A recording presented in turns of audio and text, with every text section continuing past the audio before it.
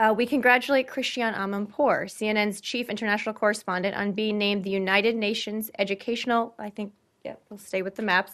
Educational, Scientific, and Cultural Organization, or UNESCO, a Goodwill Ambassador for Freedom of Expression and Journalist Safety.